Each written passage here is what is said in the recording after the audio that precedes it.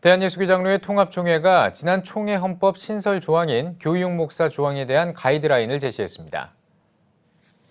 예장 통합총회는 임원 회의를 열고 교육 목사의 자격과 위치 등에 대한 헌법위원회의 헌법 해석을 수용했습니다.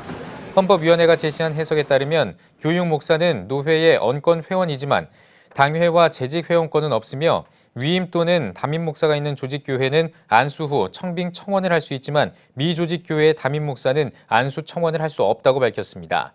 위원회는 또 교육 목사를 청빙해 전임 사역을 맡길 수 없고 미조직 교회에서는 재직회의 결의로 교육 목사 청빙과 연임 청원을 할 수 있다고 덧붙였습니다.